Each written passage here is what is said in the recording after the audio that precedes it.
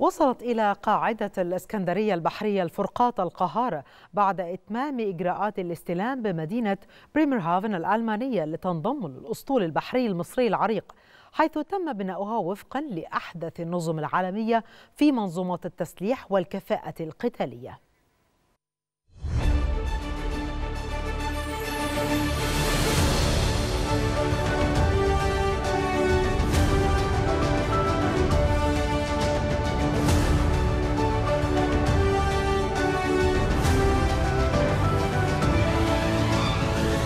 وصلت إلى قاعدة الإسكندرية البحرية الفرقاطة القهار. من طراز MEKO A-200 بعد إتمام إجراءات الاستلام بمدينة بريمرهافن الألمانية لتنضم إلى الأسطول البحري المصري العريق حيث تم بناؤها بشركة TKMS بترسانة SBN الألمانية وفقا لأحدث النظم العالمية في منظومات التسليح والكفاءة القتالية وتعد الفرقاطة القهار الثانية من أصل أربع فرقاطات طراز ميكو إي 200 تم التعاقد عليها بين مصر وألمانيا وتتمتع الفرقاطة القهار بالعديد من الخصائص التقنية ومنظومات التسليح الحديثة التي تمكنها من تنفيذ جميع المهام القتالية كما تعد إضافة تكنولوجية هائلة لإمكانات القوات البحرية وتهدف إلى تطوير القدرة على مواجهة التحديات والمخاطر المحيطة بمنطقتنا حفاظا على مقدراتنا ولتحقيق السيطرة الكاملة على سواحلنا الممتدة بالبحرين الأحمر والمتوسط. وشاركت عدد كبير من القطع البحرية في تنفيذ استعراض بحري أمام ساحل مدينة الإسكندرية احتفالا باستقبال الفرقاط القهار كتقليد بحري أصيل.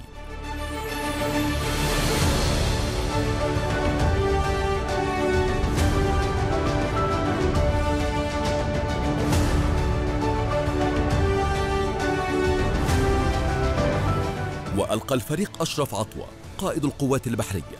كلمة نقل خلالها تحيات السيد الرئيس عبد الفتاح السيسي رئيس الجمهورية القائد الأعلى للقوات المسلحة.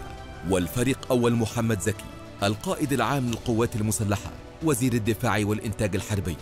لطاقم الفرقاطة لما وصلوا إليه من مستوى متميز خلال فترة الإعداد. أثبتوا وبحق أن مصر لديها من الكوادر من هم قادرين على استيعاب التكنولوجيا الحديثة في تشغيل وصيانة الفرقاطة والعمل بكفاءة تامة على كافة أنظمتها كما هنأهم على سلامة الوصول إلى أرض الوطن وأوصاهم بأهمية الحفاظ على وحدتهم الجديدة والتدريب الجيد للوصول لأقصى درجات الاستعداد.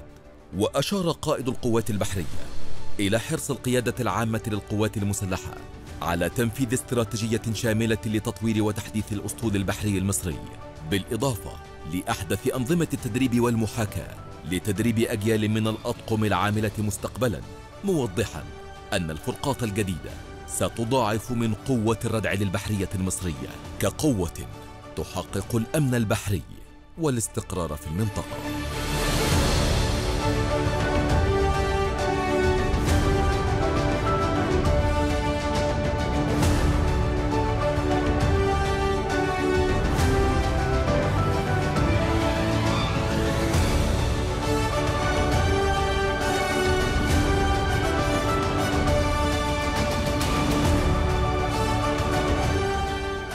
الشعب المصري كله بيحتفل باليوم العظيم دواتي لأن إحنا الجيش بتاعنا من أقوى الجيوش والاعظم الجيوش في العالم كله اللي بيدعي للفخر والعزة. يمكن منظومة التسليح الخاصة بالقوات المسلحة بتشهد تقدم من فترة للتانية وكل فترة بنسمع عن انضمام سلاح جديد للقوات المسلحة. فأنا كشاب أفرح إن بلدي فيها تقدم ملحوظ والقوات المسلحة بتاعتها من القوات المصنفه في الأوائل على مستوى العالم. طبعا الواحد فرحان ومبسوط جدا جدا جدا بالاحتفالية دي. القوات البحرية معروف تاريخها من أيام حرب 73 وأنا مبسوط جدا بوصول ال- ال- القهار لوصولها لمصر اللي هي من أحدث الوسائل الحربية اللي وصلت مصر. بتحس إن أنت يعني وراك قوة وراك يعني حاجة تمشي تنام تصحى تروح مشوار عارف ناس حمياك ناس واقفة وراك. يعني الواحد بيبقى حاسس بعزة وفخر وطول عمر المصريين كده كان بحرية شرطة كلهم واحد عندنا في قلبنا من جوه. قوة جديدة بتضيفها للقوات المسلحة المصرية وللقوات العربية قوة الردع وقوة الحفاظ على الحالة الاقتصادية والموارد الاقتصادية. والقوات البحرية المصرية هي القوة الرئيسية للقوات البحرية العرب وهي الركاز الرئيسي في البحر لينا.